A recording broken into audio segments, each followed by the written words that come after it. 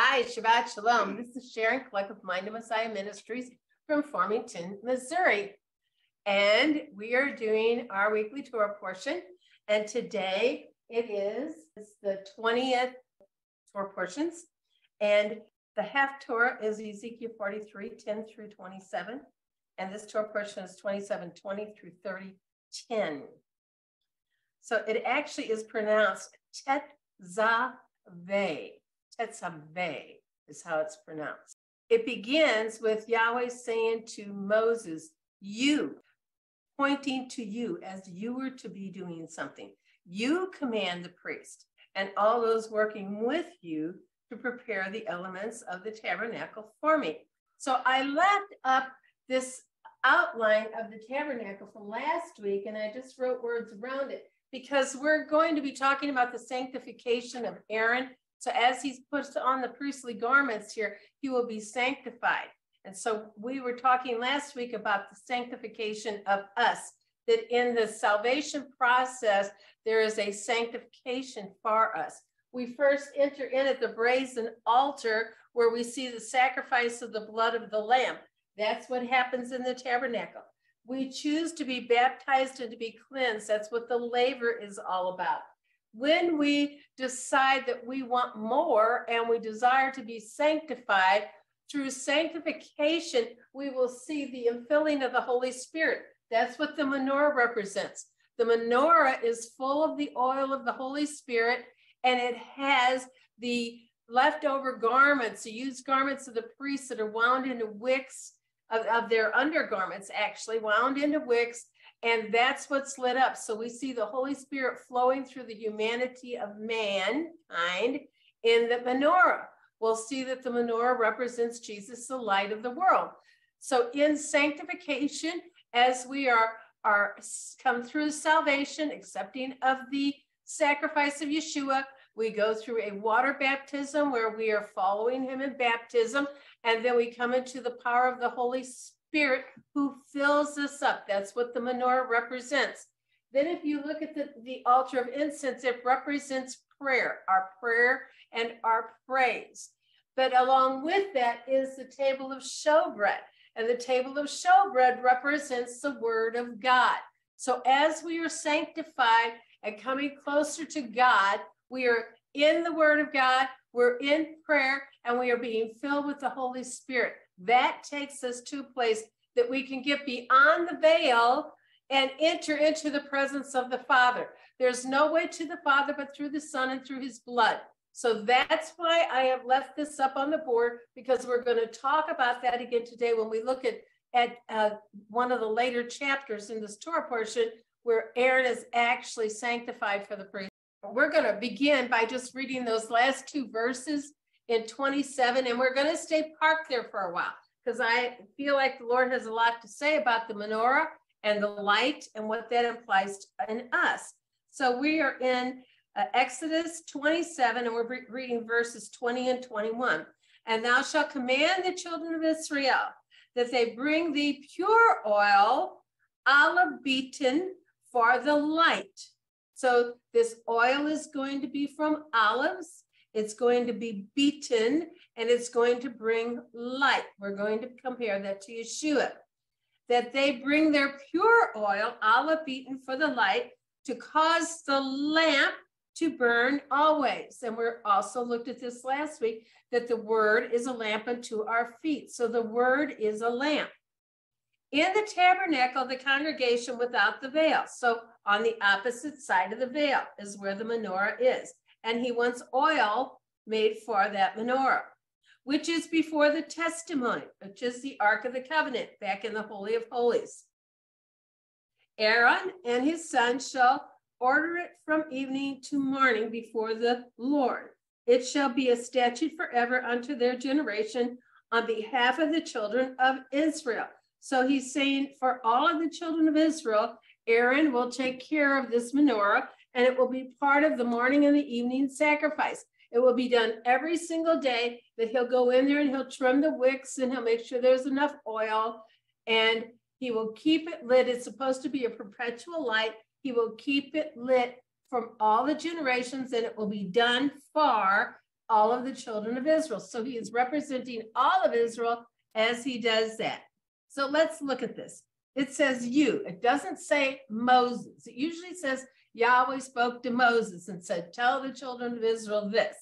But in this whole Torah portion, the name of Moses is not even mentioned one time. If you remember when he was on the mountain and he's pleading with God to forgive the children of Israel, that he says to him, If you won't forgive them, then blot my name out of the book of life. Well, what is said by the sages is that it was only blotted out of one Torah portion, that instead of blotting his name out of one book, it was blotted out of this particular Torah portion. And so in this whole Torah portion, you will not see the name of Moses. But he speaks to Moses and he tells them that you're supposed to do this. The other thing that we see here is that it is beaten olives. The olives are beaten, and therefore the oil of the menorah. And we, as followers of Yeshua, because he is the light of the world, we are supposed to keep our light burning continually. It is to never go out. You're, you're supposed to be like a city on a hill, that your light is constantly burning, that everyone can see that you're glowing for Yeshua. So last week, the portion started with pounding out the pure gold for the menorah. That's what we talked about last week. It started with the pounding out this time of the olives for the pure olive oil. So in chapter 28, we read all about the priestly garments. So I'm going to tell you a little bit about where, where else we're going today. So I'm going to come back to the menorah, but right now I'm going to tell you where, where we're going in 28, 9, and 30. So in 28, we're going to read all about the priestly garments. And we can correlate this to the armor of God. I've taught that to this group once before. So we'll look at it a little bit more today. That's the armor of God that's written about in the book of Ephesians by the Apostle Paul. And last week in the middle of the Torah portion was all about the coverings of the tabernacle. This week in the middle of this portion is about the coverings of the priest, our human tabernacle. We talked last week that we are the temple of God and we are the tabernacle where Yahweh dwells. So it's all about man being restored so that Yahweh can dwell in us. The coverings for the priest is all about telling us how to live a pure life and to be holy before the Lord. And then in chapter 29, we see instructions for the altar of incense. Last week, it ended with instructions for the brazen altar in the outer court. We're looking also in this Torah portion for glimpses of God's character. What are we seeing about God's character? Well, one of the things that he talks about is that Aaron is supposed to be set apart that Israel's supposed to be set apart. That word is Kodesh. In Hebrew, it is Kodesh, means holy, set apart. He is teaching us that we have to be a set apart people, that we are to be holy as Yahweh is holy. So our thinking and our actions and our speech. So if we think right, our speech will be right and our actions will be right. And that's what he expects for his bride to be. So we have glimpses of Messiah in the beaten oil and in the high priest and in the altar of sac- sacrifice. So we're going to look at those a little bit deeper. So he, Yeshua, was beaten for our iniquities. He is our high priest and is the greatest sacrifice of all times. He tells us, if you follow me, you will not be accepted by the world. He, he tells us in this world you'll have persecution, you'll have tribulations, but be good cheer, he's overcome the world. He tells them, You will be persecuted for my name's sake. That's what he tells his disciples. If you are a follower and a disciple of Yeshua, you should not be too surprised when a little bit of persecution comes your way. And we have to be willing to do that to die to ourselves for our testimony of Yeshua. So there's applications for today in our lives. We are to be refined as pure oil through perseverance, through adversity, and through whatever trials might come our way. John saw in the end times the remnant church. And this is what he said in Revelations 12 17. And the dragon was wroth with the woman, and he went to make war with the remnant of her seed. Are you the remnant of her seed? Which keep the commandments of Yahweh.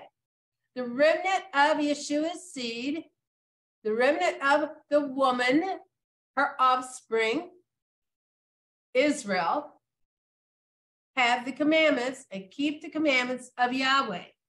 And they have the testimonies of Jesus Christ, Yeshua HaMashiach. We have to have both to be considered the remnant or the overcomers. And then Revelations 14 12. Here is the patience. We are supposed to have patience. Not everything happens instantly. We don't get born again and instantly be in the presence of God. There is a process. It's a journey. If not, why did Paul say, I've run a good race, I've finished my, my course? He ran a race. If he he says we enter a race to win it. If we're in this walk, we should be in it to win it. There is a finish line, and we have to get to that finish line. So here are the patience of the saints. Here are they who keep the commandments of God and the faith of Yeshua HaMashiach, Yeshua, Jesus, the Messiah. So these are the ones, the saints that have patience are those that are keeping the commandments of God and having the faith and the testimony of Jesus. The word saints is the word hagios in the Hebrew. It comes from the word hag. So here are the patience of the saints. So that word is hag. Hag comes from the word feast. So these are feast keeping people. They keep the commandments of God and they have the testimony of Yeshua. So we're supposed to be keeping God's times. He told us in Genesis 1 that he placed the sun and the moon and the stars in the sky for seasons. And those words seasons is moed, moedim, are times that he wants to meet with us. There are meeting times that God has chosen for us to meet with him. Many of us in a Western culture have chosen not to meet with him on his timetable. We want him to do it on our timetable. So they have the written Torah, the saints that are overcomers in the end in Revelations.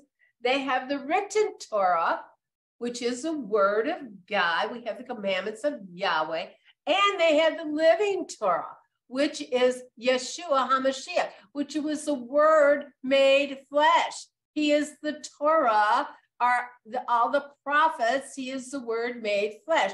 And for those of you who don't know this, Jesus quoted out of the book of Deuteronomy, which is part of the Torah, more than any other book. In all of the things that we see in the New Testament, we will see Jesus teaching out of the book of Deuteronomy.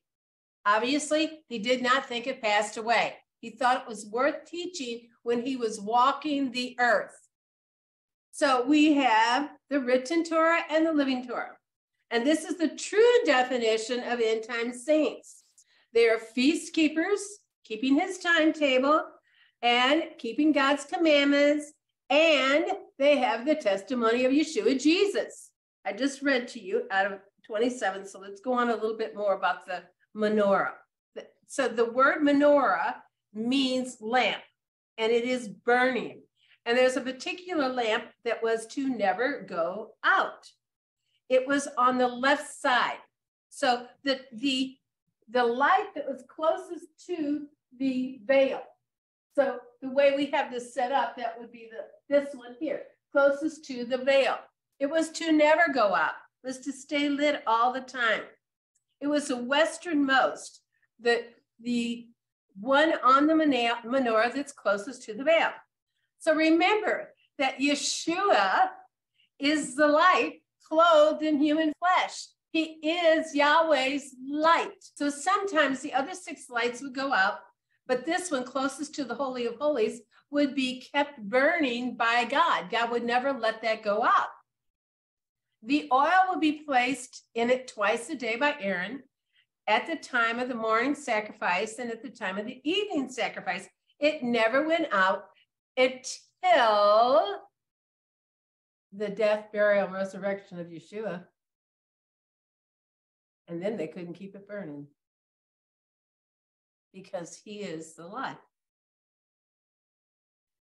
Then they couldn't keep the light burning. It was actually a miracle. Along with the doors, I would not stay closed. Every night they would, the priest would close the doors to the temple, and every morning they would come and the doors would be open and there was no explanation. The other thing was that the red thread that had been put on the scapegoat, they would hang it on the door during atonement. They would hang that, that scapegoat ribbon or thread cord on the door of the temple, and it had always turned white before, which signified that God had accepted their sacrifice. After the sacrifice of Yeshua, you can find this in the writings of Josephus. This is pretty, pretty well known. It's probably all over the internet if you want to look at it. But it indicated that the sacrifice of the scapegoat and for their sins had not been accepted. That's because the once for all sacrifice for taking away the sins of Israel had already been made in the person of Yeshua. His blood had already been shed. And so that sacrifice had already been accepted. From the time of 30 AD until 70 AD, none of these things ever happened because the ultimate sacrifice had already been made. This is what Yahweh tells Moses to bring me pure olive oil. So there's a process in making this oil. And we're going to look at that process of making the oil compared to the things that Yeshua experienced are exemplified. So Yeshua was also beaten. So bring me pure olive oil beaten. Yeshua was beaten to show the light of God's love. The olives would fall from the tree and they would be beaten on the ground to release from them the branches. And then later, they would be put into a press. Well, sometimes you might feel like you've been beaten or that you've been oppressed. So we're going to see symbolisms in all of this. The olives were inspected, just like the lamb was inspected. Yeshua was also inspected. So the olives are inspected to see if they are ripe or if they're ready for harvesting. And then they are pounded with a rock. So they are bruised as they are separated from the tree. Israel is a symbol of the olive tree. So think of the symbolism of this as Yeshua is separated from the people of Israel like he's separated from the tree. He is beaten and he's hung on a tree for our sins. All because they didn't understand the plan of salvation and the word becoming flesh. And that's not the only reason. That these were people that were being led by their selfish desires. They were not living in selfless love as Yeshua was walking the earth in selfless love. So Yeshua is separated from Israel. He's beaten and he's hung on a tree for our sins. So once the olives are beaten, they are put into a press under a rock. And there's just so much symbolism in this. In First Peter 2:24, it says, who his own self bore our sins in his own body on the tree, that we, being dead to sin, we are supposed to be dead to sin. If there's still sin in your life, you need to ask yourself why. We're supposed to be dead to sin and that we should live under righteousness by whose stripes we are healed. You were healed when you were dead to sin. Listen, I know that Yeshua heals people who don't even know him. He is omnipotent, he's all powerful, he can do whatever he wants to do. But we do have it in the word that tells us let me read that again. It tells us that who in his own self bore our sins and his own body on the tree, that we being dead to sin should live under righteousness, whose stripes you were healed. Through whose stripes you're healed. So if we are dead to sin, then why are we still doing things to please our flesh? The Bible tells us to be a friend of the world is enmity to God. If we are living in this world accepting and being wanting and desirous of men's approval, always needing somebody to think we're greater, doing something wonderful, or we're smarter than everybody else, or we're better in any other way, then we are looking for the accolades of men and not the accolades of God. If there's any pride or puffed upness, are things that we're still doing, then we need to look at ourselves and say, well, we haven't quite walked through this whole tabernacle journey to the point of sanctification. We're still being sanctified. And I dare say we're all still being sanctified in one way or the other. So the olive tree is not only a symbol of Israel, it's the symbol of Yeshua as well. In Isaiah 53 4, it says, Surely he hath borne our griefs and carried our sorrows, yet we did esteem him as stricken, smitten of God, and afflicted. So we looked at him and his wounding, not us, we weren't there. Those people watching this looked at him and went, Well, if if he's the Messiah, let him come down. He must be smitten of God. God must be doing this to him. Sometimes things happen in your life and people look at you and go, Well, they can't be living for God. Look what's happened in their life. Look at their kids. Look at their relationships. Look at their finances. People want to judge us by their judgment and not by God's. So he is smitten, but he is not smitten of God. He was wounded for our transgressions, he was bruised for our iniquities, and the chastisement of our peace was upon him. And with his stripes we are healed. So when they looked at him, they felt like it was God that wounded him. But that's just like Job's accusers. They looked at him and they saw him and they falsely accused him. We have a whole book of Job. It's a long book and it's all about blaming God for things that the devil is actually doing. It's all about blaming Job for things that the devil is doing to him. So sometimes these accusations that come against God's people are not true, many times. So by his scourging, by his afflictions, we are saved, and he shows us the way to holiness. There is a way.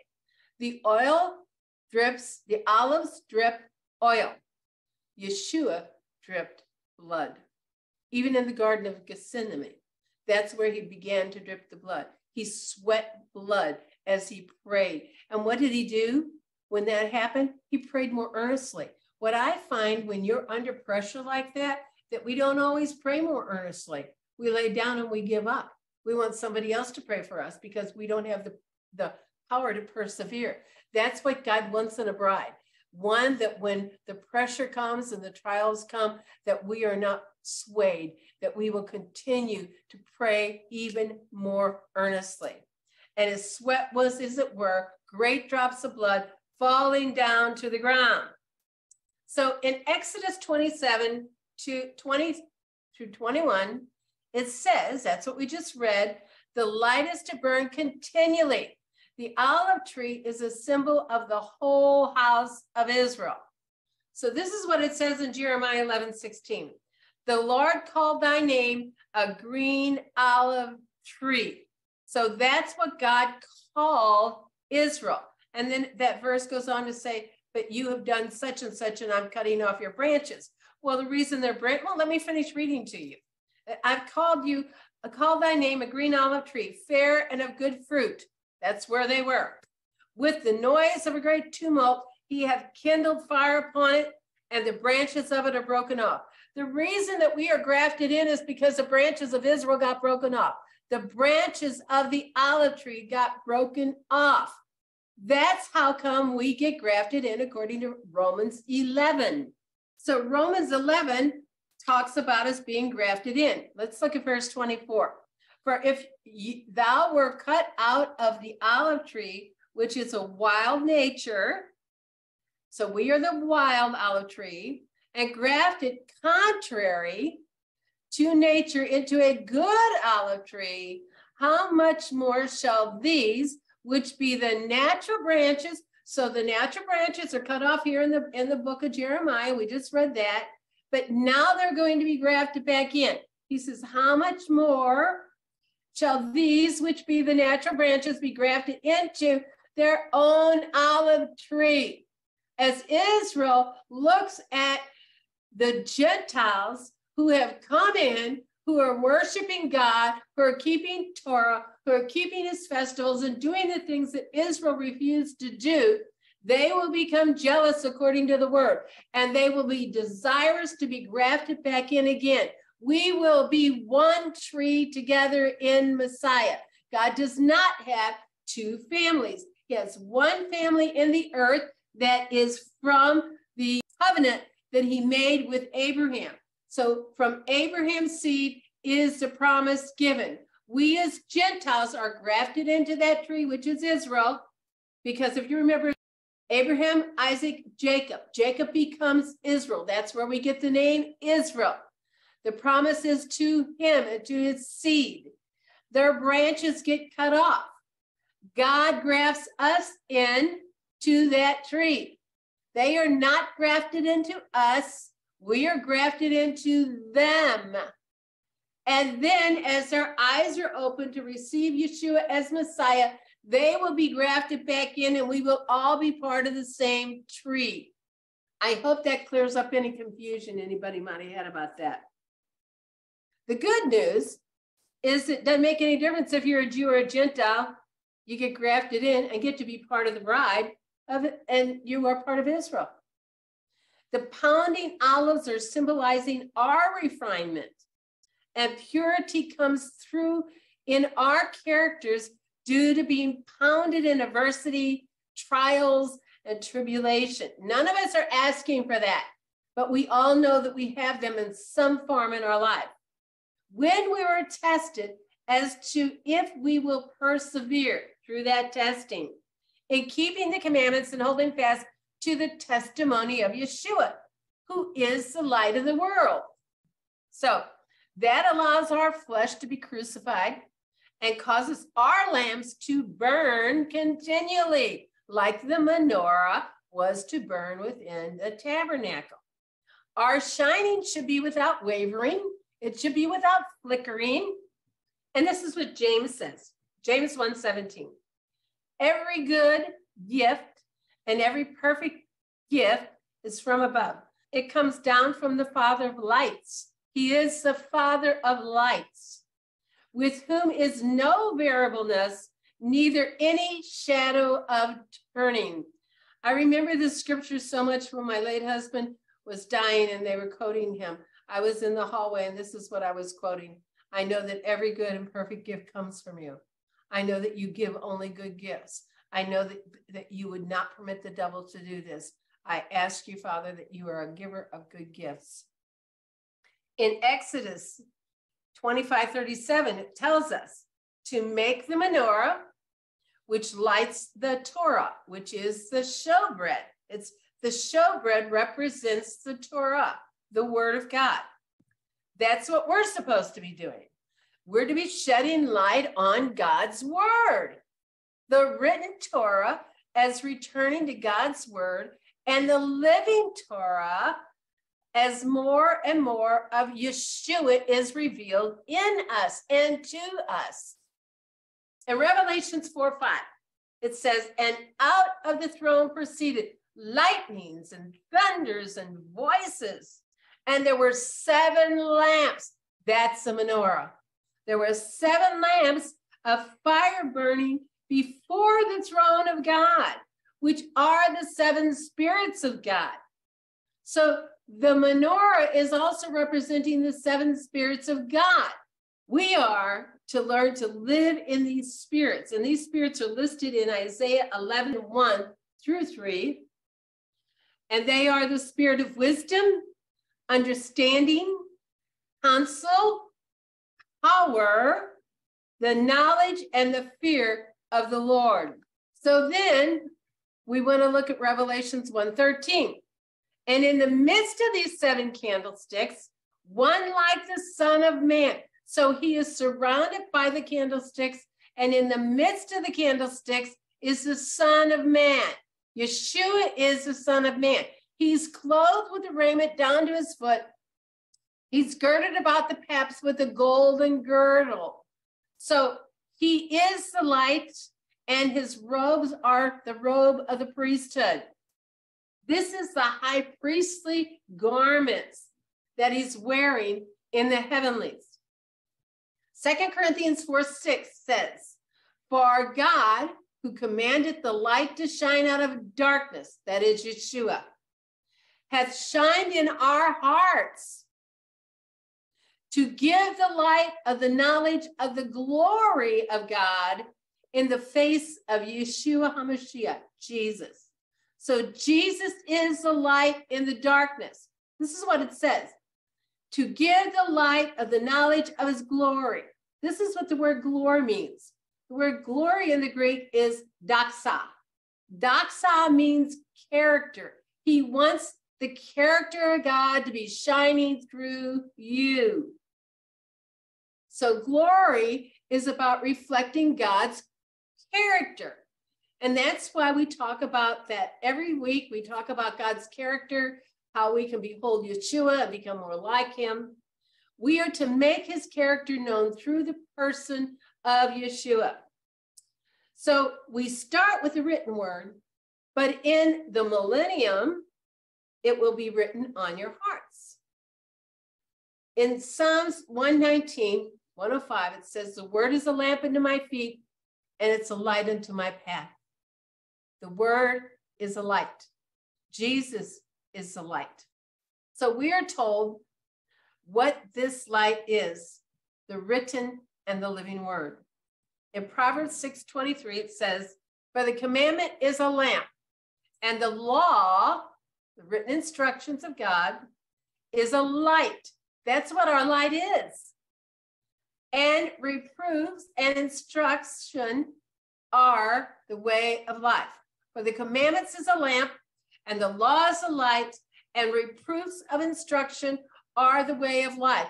God keeps reproving us when He loves us. We talked about that before we got started with the teaching today. Ben and I spent time in prayer this morning because God was reproving us about things that we had not paid attention to, things that were said to us that we believed instead of first saying that's not what God says. We, we heard from the doctor what he was saying. We went, you know, we when we heard it, I started to reject it, and they could, were trying to convince me that they were right. But I should have just said, well, that's not what God says, and I would have been done with it. I wouldn't have been feeling threatened about what their diagnosis was that was turned out to be a false diagnosis. All of us are doing that. We're hearing words and we're responding to words. The word that we need to respond to is the word of God. So the word is a lamp unto our feet, and the commandment is a lamp, and the law is light, and reproofs of instruction are a way of life. Thank you, God, that you reprove me. Thank you that you correct me. I don't want to be unreproved. I want your correction. I want you to teach me all the time. I never wanted to stop. How can we repent if we don't know what we've done? God has to open up our minds and help us to see what we've done and not done. So we're told what this light is. It is written in the living word. Isaiah 49, 6. And he said, It is a, is it a light thing that thou should be my servant to raise up the tribes of Jacob and to restore and preserve the preserver of Israel. That's who Yeshua is. I will also give thee for a light to the Gentiles. He is given as a light to the Gentiles. So this is what Yahweh is saying to him. It's not a light thing that you're going to restore and preserve Israel, but I'm also going to give you as a light to the Gentiles. You're not going to just be a light to Israel you will be a light to the Gentiles as well, that thou mayest be my salvation unto the ends of the earth. What's the word salvation? What is that word? Yeshua.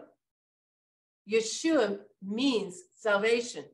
So if we would exchange that word, it would say that thou mayest be my Yeshua unto the ends of the earth.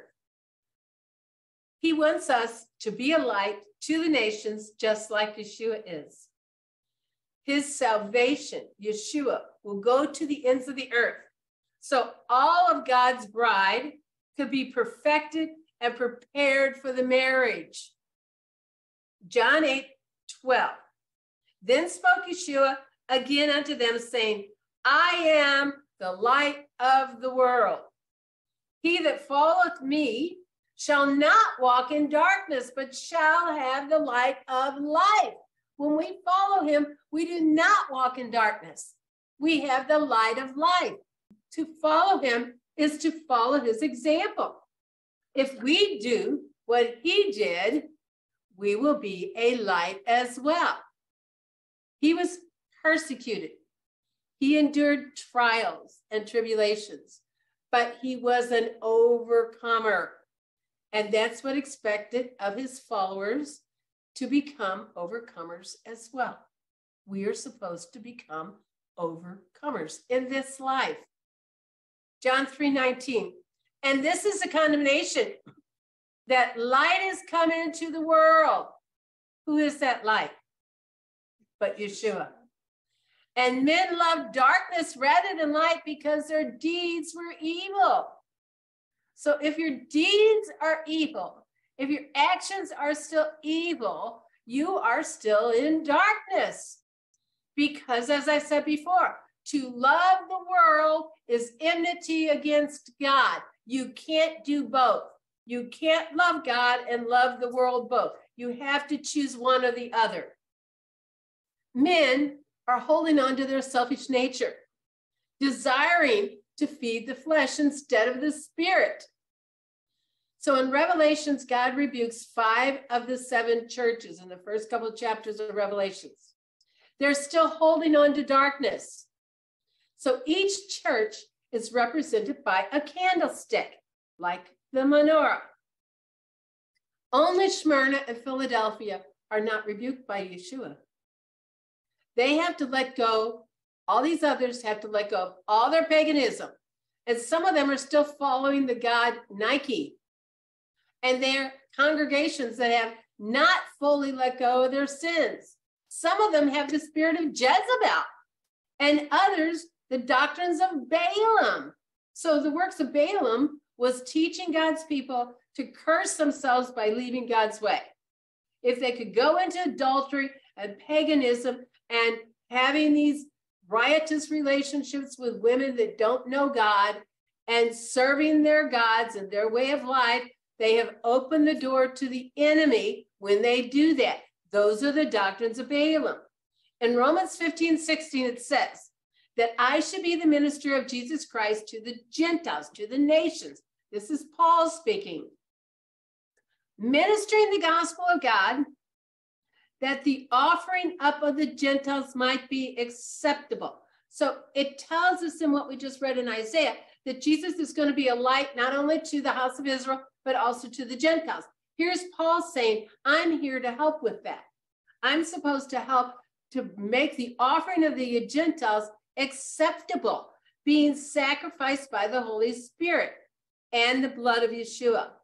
So the lost house of Israel is to be an acceptable offering, being sanctified like the three pieces of furniture that we have in the holy place, representing the word, prayer, and the oil of the Holy Spirit, which is flowing through you and I. John 17, 17 says, Father, I sanctify them in thy truth. We are supposed to be sanctified in the truth. And then he says, Thy word is truth. So you have to have the word in your life and operating in your life by putting it in, and you become sanctified. That word sanctified is set apart holy, and pure. That's what the bride will have to be. So if people say that they're full of the Holy Spirit and yet they just keep rejecting the whole word, there's just something wrong. Because his word is where the truth is. And the spirit of truth will lead us into all truth. Second Corinthians 6 6. By pureness by knowledge, by long suffering, by kindness, by the Holy Spirit, by love unfeigned, by the word of truth. So there are seven things mentioned here in this verse long suffering, kindness, the Holy Spirit, love unfeigned, and the word of truth and pureness. And by knowledge. That word love unfeigned, the word unfeigned means genuine love, not a counterfeit, not hypocrisy. You know, what we find out in this world, in this culture, is that people will tell you anything. They don't even, they don't mind lying to you. They'll tell you anything to get what they want from you are from their business, are from the government. People will lie and they will pretend to be something that they are not. Sometimes we are very fooled. And sometimes the people close to us, we are even fooled even more because we want to believe them. We want to believe when they say, I love you, they mean that they love us.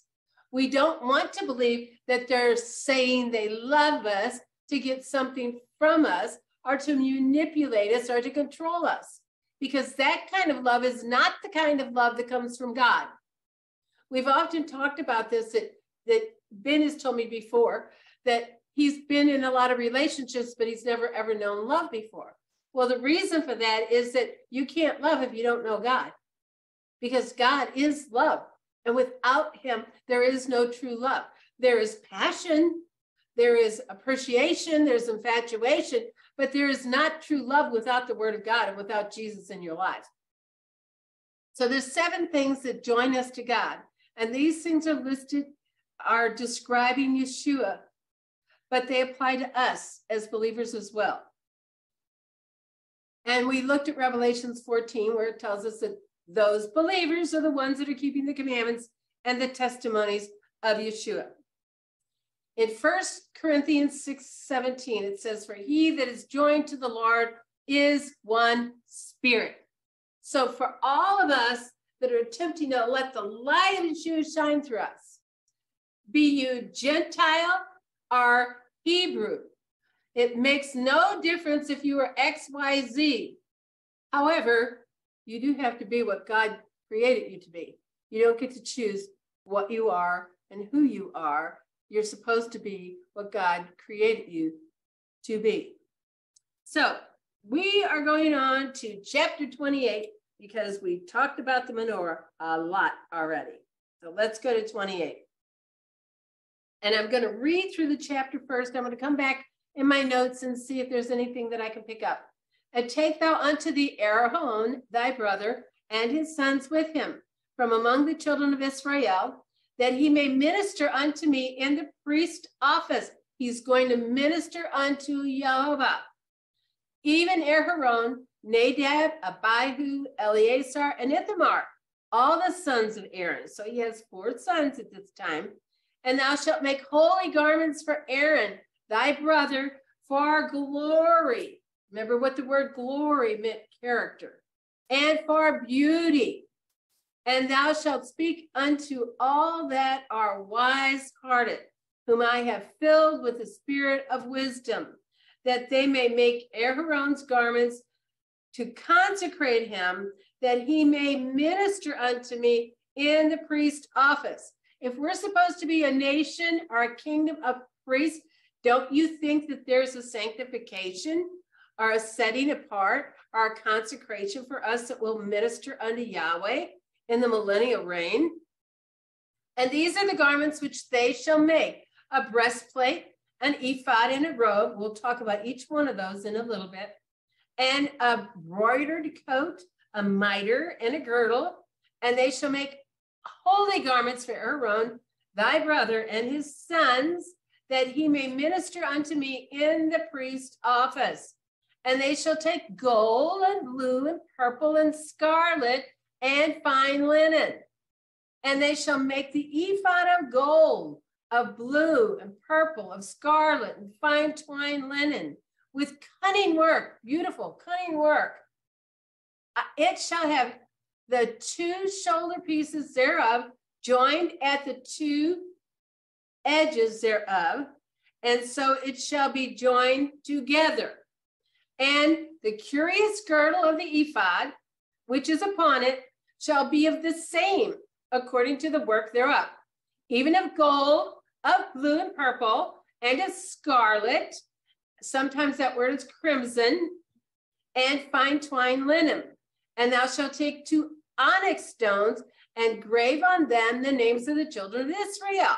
Six of their names on one stone, which is on their shoulder, and six on the other, uh, on the other stone, the names of the rest of the other stones according to their birth. So they're in birth order. With the work of an engraver in stone, like the engraving of a signet, like your signet ring, shall thou engrave the two stones with the names of the children of Israel. Thou shalt make them to be set in ouches of gold. So they're in gold settings. And thou shalt put the two stones upon the shoulders of the ephod of the stones of memorial unto the children of Israel. And Aaron shall bear their names before the Lord upon his two shoulders for a memorial. So he's going to have a stone on this shoulder, stone on this shoulder, and they're going to have the names of the 12 tribes upon them. And thou shalt make an ouches of gold and two chains of pure gold at the ends of the wreaths work shall thou make them and fasten the wreath chains to the ouches. And thou shalt make the breastplate of judgment. This is a breastplate of judgment with cunning work after the work of the ephod. And shall make it of gold, of blue, and of purple, and of scarlet, and of fine twined linen shall thou make it. Four square it shall be, being doubled. A span shall be the length of it, and a span shall be the breadth of it. So it's going to be doubled over. And thou shalt set in it settings of stones, even four rows of stones. The first row shall be sardis, topaz, and carbuncle. This shall be the first row. And the second row shall be emerald, sapphire, and diamond. And the third row will be ligure and agate and amethyst. And the fourth row will be beryl and onyx and jasper. They shall be set in gold in their enclosings. And the stones shall be with the names of the children of Israel, 12 according to their names, like the engraving of a signet. Each one with his name shall they be according to the 12 tribes. When I think about this, I think God is really honoring the children of Abraham. He's representing the 12 names of the tribes. And all of these guys aren't super great guys. Some of them do some really ungodly things. And yet God is honoring them because of his covenant with Abraham. Verse 22 And thou shalt make upon the breastplate chains at the ends of wreaths, work of pure gold. And thou shalt make upon the breastplate two rings of gold and thou shalt put the two rings on the two ends of the breastplate.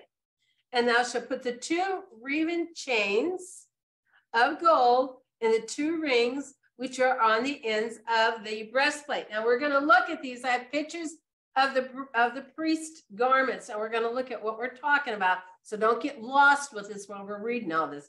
It's not just all a bunch of gobbledygook detail. There's a reason for all this, and we are going to show you through pictures what this actually looks like. So thou shalt put two wreathen chains of the gold and the two rings which are at the ends of the breastplate.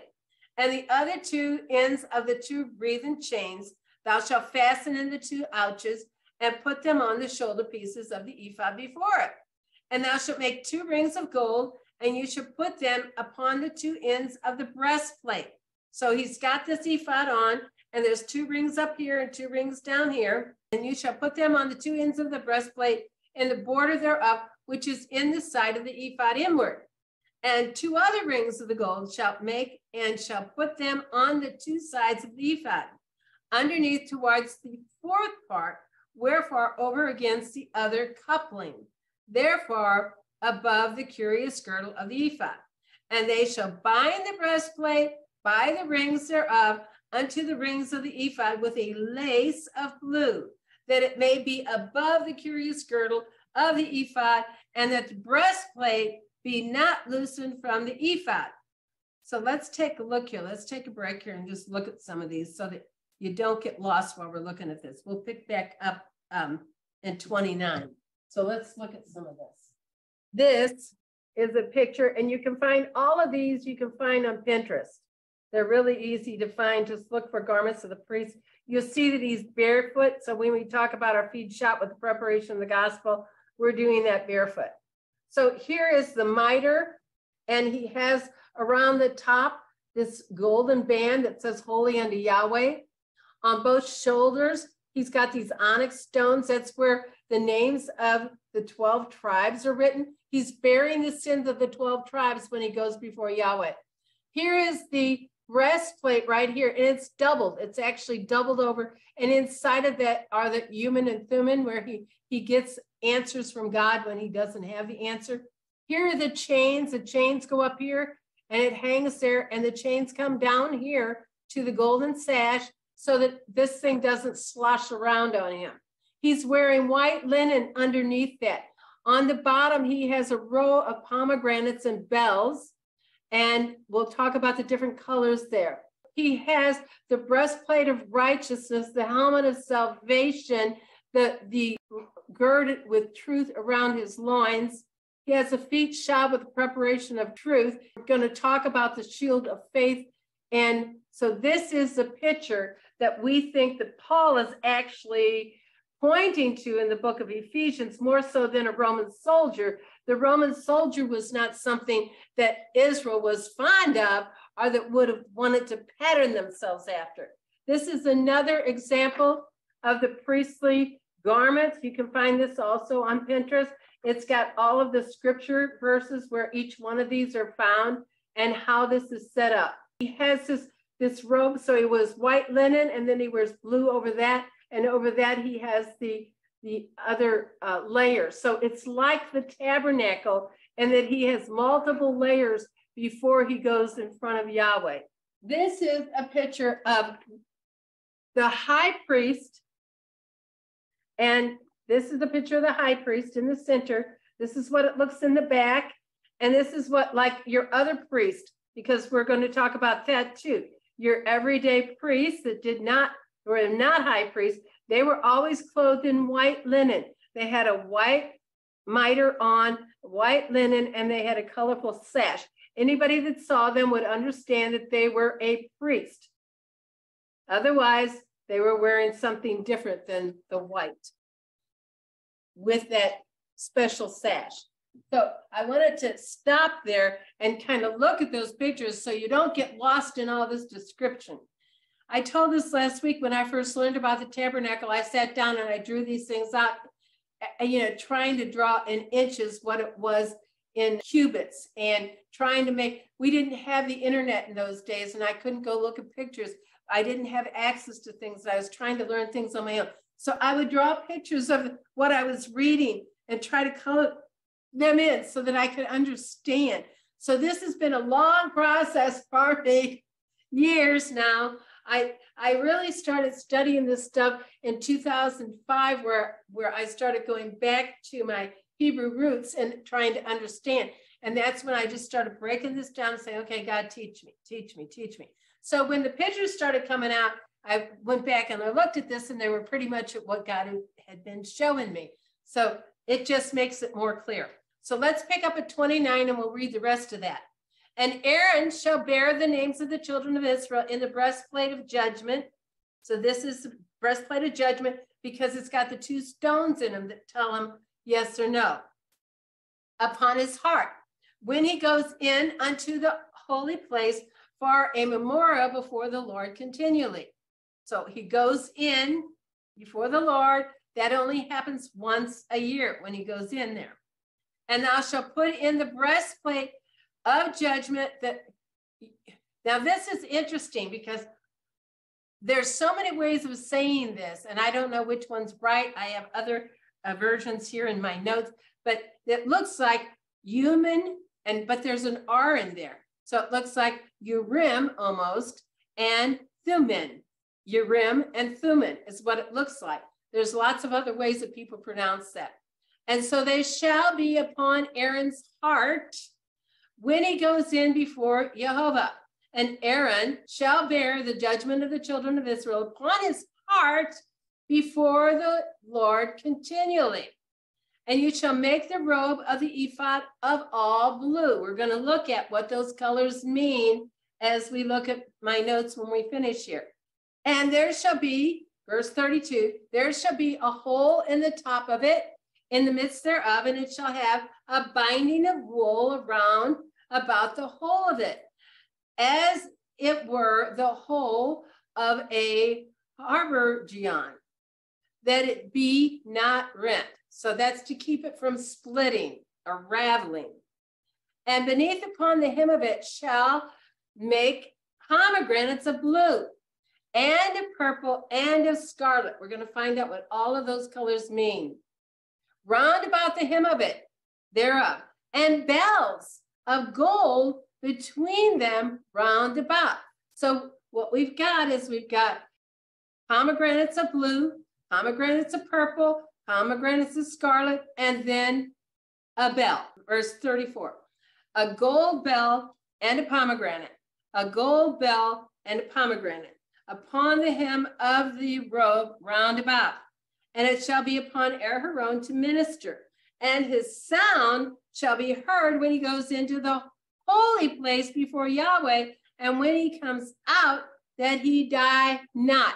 This is said to be that he actually does not enter without making noise. It's like knocking on the veil. I'm coming in. Thou shalt make a plate of pure gold and grave upon it like the engraving of a signet, holy unto the Lord, that goes across his forehead. We talk about the mark of the beast being on the forehead. God also has a mark on his people. We are holiness unto Yahweh. We are supposed to be kings and priests with the mark of holiness unto Yahweh. And thou shalt put on it a blue lace, that it may be upon the mitre, upon the forehead of the mitre shall it be.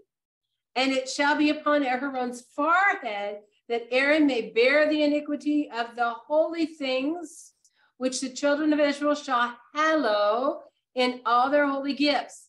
And it shall be always upon his forehead, and that they may be accepted before Jehovah. And thou shalt embroider the coats of fine linen, and thou shalt make the mitre of fine linen, and thou shalt make the girdle of needlework.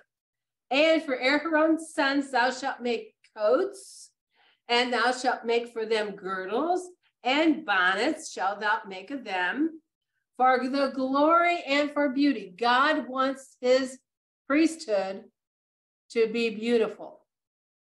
And thou shalt put on them Aaron, thy brother, and his sons with him, and shall anoint them and consecrate them and sanctify them, that they may minister unto me in the priest office. So Aaron and his sons, they're going to be consecrated unto Yahweh, set apart, sanctified. That's what we've been talking about the last two weeks. That we may minister unto Yahweh, that we may be priests in a kingdom of priests. And thou shalt make them linen breeches to cover their nakedness from the loins, even unto the thighs, they shall reach. And they shall be upon Aaron and upon his sons when they come in unto the tabernacle. So just coming into the tabernacle, they have to have these things on of the congregation, or when they come near unto the altar to minister in the holy place, that they bear not iniquity and die. It shall be a statute forever unto him and to his seed after him. So this is for all of Aaron and his family. So let's talk about some of this. We are to serve him as priest. Aaron becomes a priest. We just looked at that. He's going to be anointed. There's going to be a big thing where he is anointed. We're going to see that. And God wants us to be a kingdom of priests, but Yeshua first has become our high priest. He is a priest that ministers for us, a priest that will not die. The priests from the lineage of Aaron would die. They had to be replaced. They were replaced through heritage. The next one in line would receive that priesthood because it's a lineage that God promised it to. We don't, as God's children, put on a Roman soldier's garment, but we put on the garment of the high priest. Garments are symbols of character. This is what John says in Revelation 3 5 that those who overcome will be clothed in white raiment. And then he says, Yeshua says, buy for me gold, tried in the fire. So that's like the menorah. It was gold. It was beaten. It was pressed and tried in the fire of adversity. So when gold is tried in fire, the dross or the impurities come to the top. When we go through trials, when God corrects us, we have dross that comes to the top. The Holy Spirit is able to skim that off and we become more pure. When we become pure gold, then Yahweh can look into us and reflect his very self will be reflected within us when we become sanctified and like him. If we will behold him, we will become like him. So the that doesn't just happen once in the refining process. The refiner's fire will continue until all of the dross is out of us and we become like Yeshua. That's the goal for our life. The dross in the gold is taken away with the trying. The white raiment is for the priesthood. Let's look at each one of the items. We have the armor of God, and in this we have a breastplate. It is a vest that is a shield of faith. So the priest has this vest over him. It's a shield of faith, and his robe represents righteousness. Ephesians 6 tells us that the turban, that there is a turban on the head, it is a helmet of salvation. The word salvation means Yeshua. Yeshua means salvation. So that's what's on our head. That's because we're supposed to think like him, talk like him, and act like him. Our mind is supposed to be renewed by the word of God that we will reflect Yeshua in this earth. It's placed over his mind. It says holy to the Lord. So if our thoughts are holy, then our speech will naturally follow our holy thought life if it's centered on him. So the helmet of salvation is Yeshua himself. We are to see God through the lens of Yeshua daily, keeping our eyes on him. So then the sash, the golden sash around the high priest, the belt, are even with the regular priests, they have a sash, but theirs is crimson and blue. It is the belt of truth. That golden belt around the high priest is the belt of truth. We just read where Yeshua said, I sanctify them in truth. My word is truth. So it represents the word, which is truth.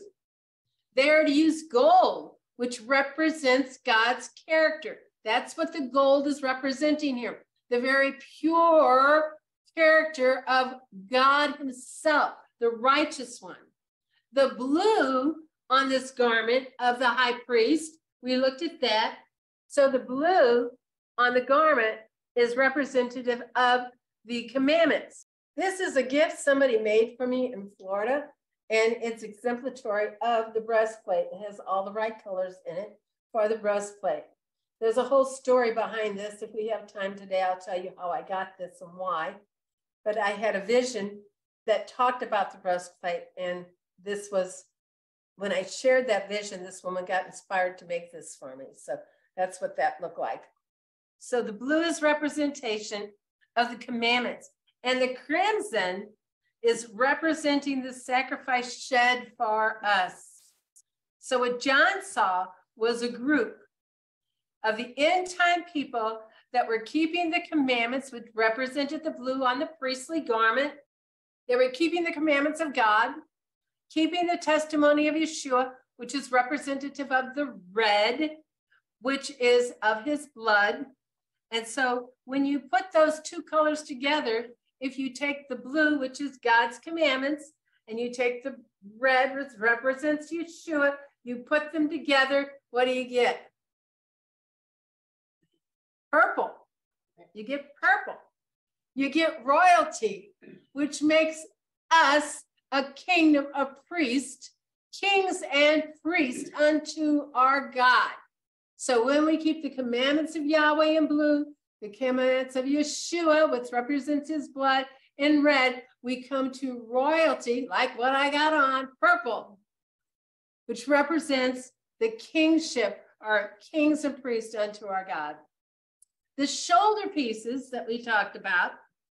Okay, so put that back up again because that is, we're seeing the blue here. And then all in through here is the, the red and the blue woven together. And here we have, which is making purple. And then here we have the golden belt around him, the belt of. So the shoulder pieces, which are up here, you get the shoulder pieces right here up on the top, each one of those. And I think about how heavy these must have been, but it's more than more heaviness than that because when he wore those, he's bearing the sins of Israel. That had to be even heavier when you think about that. So the shoulders are bearing the burdens of all 12 of the tribes. It's like a seal. What they what they did there when they engraved them, we don't know if they were uh, in those stones, if it was raised up or if it was raised down you know, in, in, an impression, but it was like a signet on each one of those stones with a name on his shoulder. So names raised up are, are deep within, we don't know. So Yeshua is wearing these garments in the heavenlies at this point. He has the sons of Israel on his mind constantly. He's interceding for us, you and me, continually. And Aaron is a type of Yeshua who is the ultimate high priest. So if we take every name from Reuben to Benjamin, it contains 50 Hebrew letters. I think that's interesting. 50 is very symbolic, like 50 days between the end of unleavened bread until Shavuot, where we count the Omer, are the 50 days from the deliverance from Egypt until God betrothed Israel, his bride. So the name Yeshua begins with a yod. A yod is the smallest letter in the Hebrew alphabet. It is the smallest of the Hebrew letters, and it's indicative of Yeshua, who came from heaven and lowered himself to become a man. That was really humbling. The breastplate of righteousness. In Hebrew, the word for righteousness and the word for justice is the same word. Don't you think that's interesting? When it's righteous, it's justice. When it's justice, it's righteous. So it means justice. Similar to Zadik, which is a righteous man. We actually have a Zadi up here. This is the, the letter Zadi. And um, we talked about that before. It represents a righteous man. It looks like a man on his knees with both hands to the air, praising God. That's a zadi.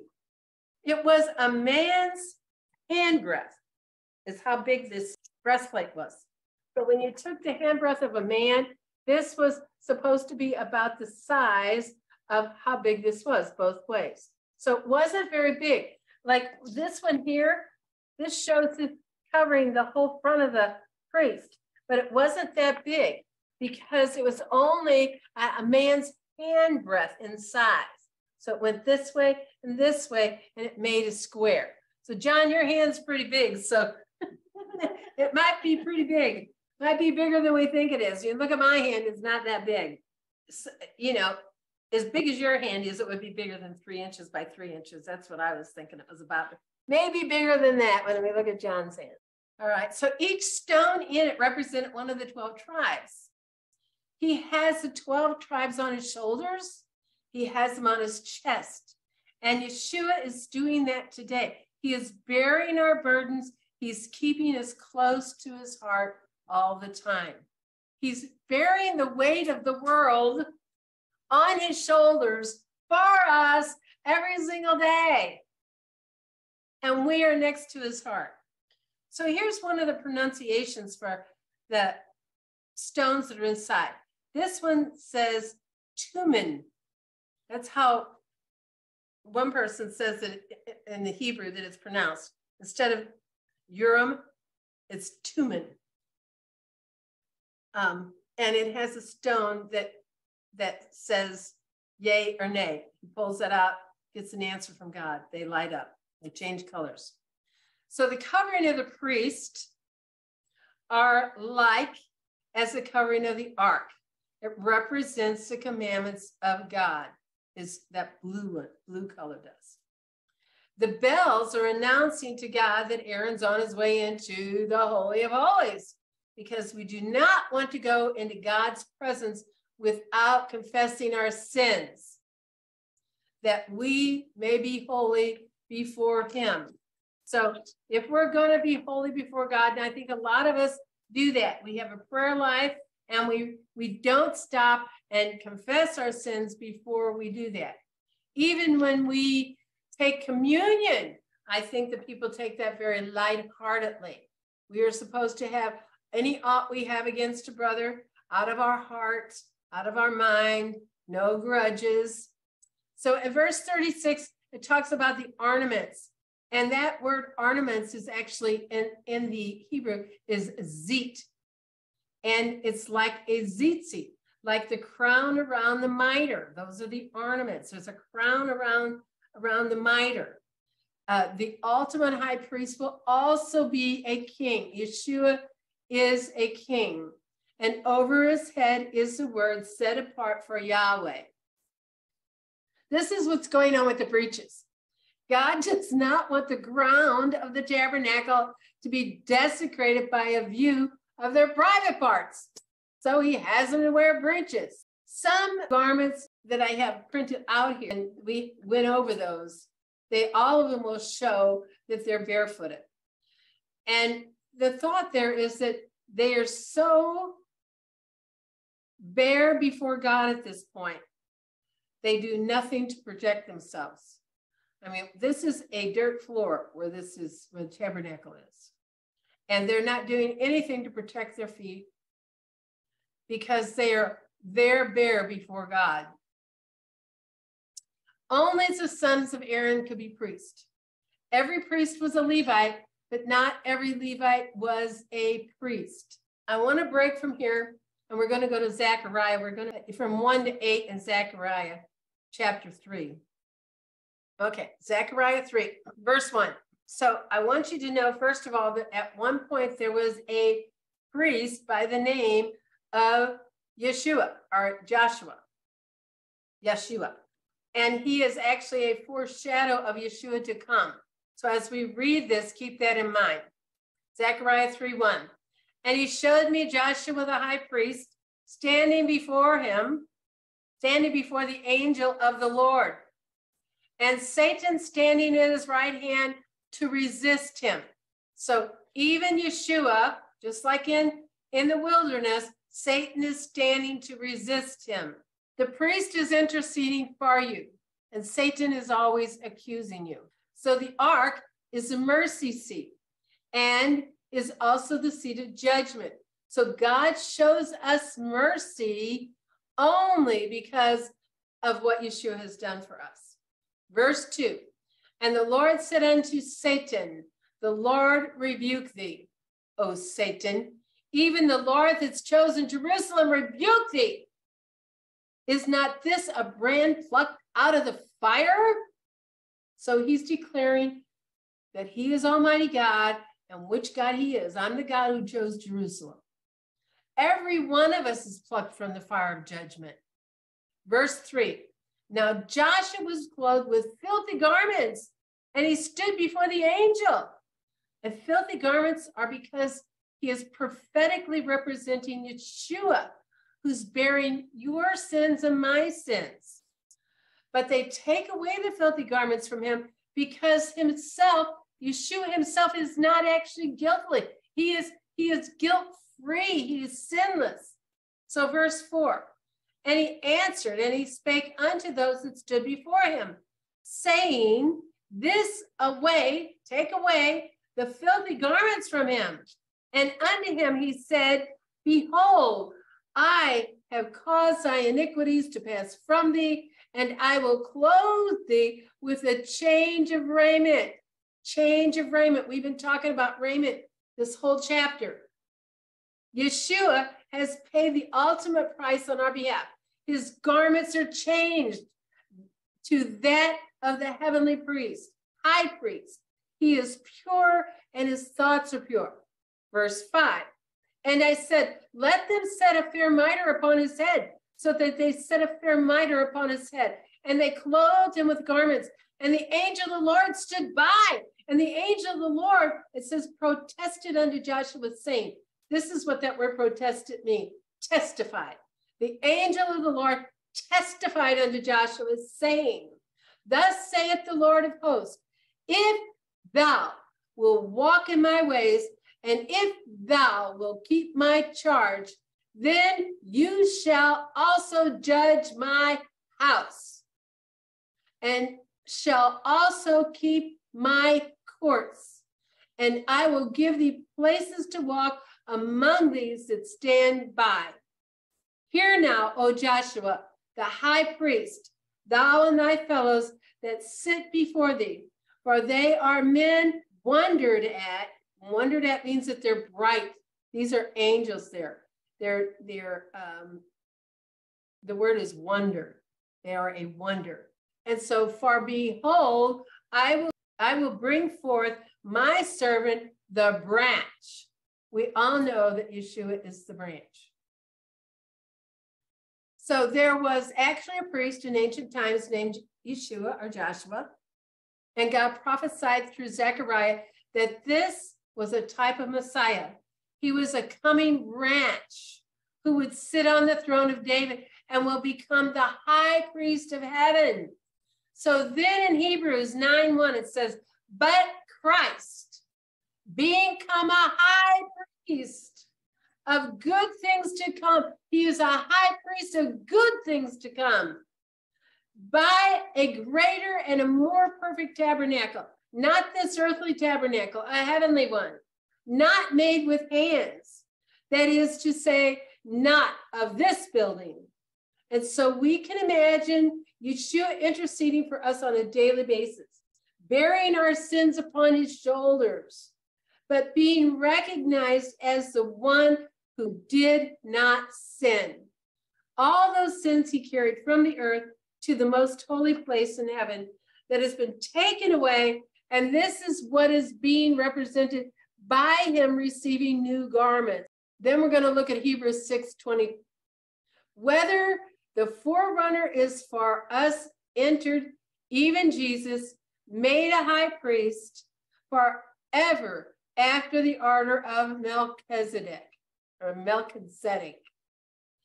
Spiritually and physically, Melchizedek was an order of the priesthood. That is an order of priesthood. We have different orders of, we have the order of Abiah. We have the different orders of priesthood. He is the order of Melchizedek. Before the law was given, there was a priesthood. Aaron was in the loin like when Abraham paid tithes to him. Now, let's talk about some of this lineage here. Judah, who has the scepter, he ended up married a pagan wife. He had a couple sons, but he knew better than to find a pagan wife for his sons. He went and he found Tamar, who was the granddaughter of Melchizedek. And his sons were the offspring of a pagan, and so they could not produce the offspring of the lineage of Messiah. Instead, Judah had two sons with Tamar without knowing who she was. And all the line or the lineage of Judah has held the scepter. So Hebrews 4:15.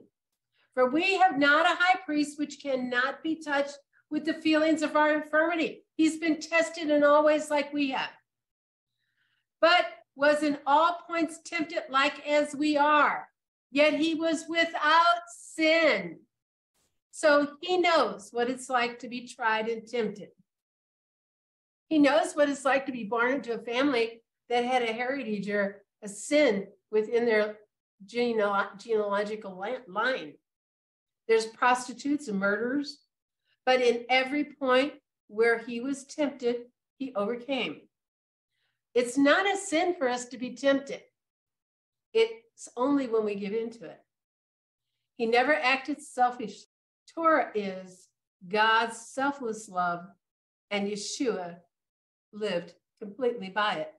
God intended for all of us to be priests.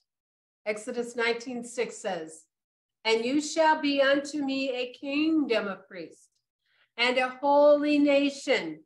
And these are the words which thou shalt speak unto the children of Israel." And then Isaiah 61 6. But you shall be named the priest of Yahweh. Men shall call you the ministers of our God. You shall eat the riches of the Gentiles, and in their glory shall you boast yourselves. So, what is our boasting? Glory means character. So, when we boast in the nations, returning to the character of God, that's what our boast is. Seeing the nations returning to the character of God. And we're supposed to be living in that priestly life here and now and not waiting for the millennial reign. Okay, let's go to chapter 29. And this is the thing that thou shalt do unto them to hallow them, to minister unto me in the priest office. Take one young bullock and two rams without blemish. A bull is given for the sins of leadership. That's why it's a bull. The unleavened bread and cakes, unleavened, tempered with oil, and wafers unleavened, anointed with oil of wheaten flour, shalt thou make them. Isn't it interesting that we are the wheat harvest? And thou shalt put them in one basket and bring them in the basket with the bullock and the two rams. And Aaron and his sons thou shalt bring unto the door of the tabernacle of the congregation, and you shall wash them with water. Same thing we did, sanctification. And thou shalt take the garments and put upon Aaron the coat and the robe of the ephod and the ephod and the breastplate and gird him with the curious girdle of the ephod. And thou shalt put the mitre upon his head and put the holy crown upon the mitre then thou shalt take the anointing oil and pour it upon his head and anoint him. All these beautiful clothes and pour oil on it. And thou shalt bring his sons and put coats upon them, and thou shalt gird them with girdles. Aaron and his sons and put the bonnets on them, and the priest's office shall be theirs for a perpetual statute. And thou shalt consecrate Aaron and his sons and thou shalt cause a bullock to be brought before the tabernacle of the congregation, and Aaron and his sons shall put their hands upon the head of the bullock. And thou shalt kill the bullock before the Lord by the door of the tabernacle of the congregation. And thou shalt take the blood of the bullock and put it upon the horns of the altar, which with thy finger, and pour all the blood beside the bottom of the altar. This is the altar down here, the brazen altar. It has horns on each corner. And so when people talked about, when I first looked at that, it meant horns of the altar. Why is an altar got horns? That's why. They have the horns of the altar all around there, like things that stick up on the edge. Thou shalt take all the fat that covers the inwards, and the caul that is above the liver, and the two kidneys, and the fat that's upon them, and burn them upon the altar. So they're going to take the inwards, they're going to put them on this altar and burn them. But the flesh of the bullock and his skin and his dung shall thou burn with fire without the camp. It's a sin offering. So we don't bring sin in before the Lord.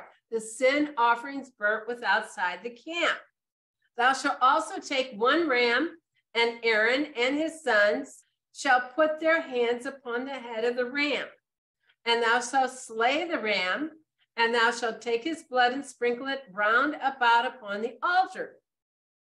And thou shalt cut the ram in pieces, and wash its innards of him and his legs, and put them unto his pieces and unto his head.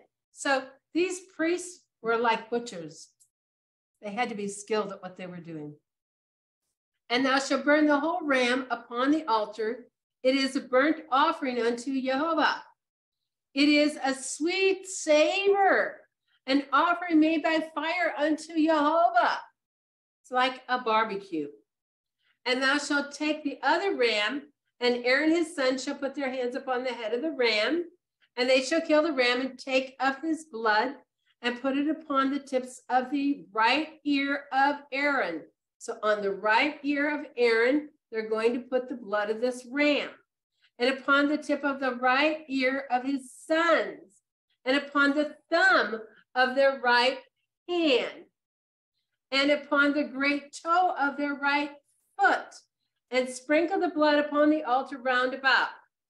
And you shall take of the blood that's upon the altar and of the anointing oil and sprinkle it upon Aaron. So we're sprinkling him with blood and with oil, and upon his garments, and upon his sons, and upon the garments of his sons. So even these garments are being sanctified by blood, and he shall be hallowed or holy, and his garments, and his sons, and his sons' garments with him. So they are being sanctified as well as the garments. Also, thou shalt take of the ram the fat and the rump and the fat that covereth the inwards, and the caul above the liver, and the two kidneys, and the fat that's upon them, and the right shoulder, for it is a ram of consecration. And one loaf of bread and one cake of oiled bread. So the oil is on the bread, and one wafer out of the basket of the unleavened bread that is before Yahweh. And thou shalt put all in the hands of Aaron and in the hands of his sons, and shall wave them for a wave offering before the Lord. And this is something else that seems strange to me. What in the earth is a wave offering? Well, they have a heave offering where you push things up like this. That's a heave offering. Well, you do a wave offering, you literally wave it before the Lord. That's a wave offering. You're taking these items and you're lifting them up and you're waving them before Yahweh. Heave offering, we're pushing them up like this. And thou shalt receive them of their hands and burn them upon the altar for a burnt offering, for a sweet savor before Jehovah. It is an offering made by fire unto Jehovah. And thou shalt take the breast of the ram of Aaron's consecration and wave it for a wave offering before Jehovah, and it shall be thy part. So they're going to allow Aaron to have part of this ram as theirs. They're supposed to be eating it. And thou shalt sanctify the breast of the wave offering and the shoulder of the heave offering, which is waved and which is heaved up of the ram of consecration even of that which is for Aaron, and of that which is for his sons. And it shall be Aaron's and his sons by a statute forever for the children of Israel. So these people do not have agriculture, they don't own land, they are the Lord's portion, and he is their portion. They are supplied by gifts that are coming from the people, the other tribes of Israel. So this is his part. When they have a ram, this is what he gets the breast and the shoulder. And it shall be for Aaron and his sons by a statute forever for the children of Israel. For it is the heave offering, it shall be a heave offering for the children of Israel of the sacrifice of their peace offerings, even their heave offerings unto Jehovah. And the holy garments of Aaron shall be his sons after him. They inherit these, they pass them down. To be anointed therein and to be consecrated in them. So when they get them, they go through this whole consecration process again. And that son that is priest in his stead shall put them on seven days when he cometh into the tabernacle of the congregation to minister in the holy place.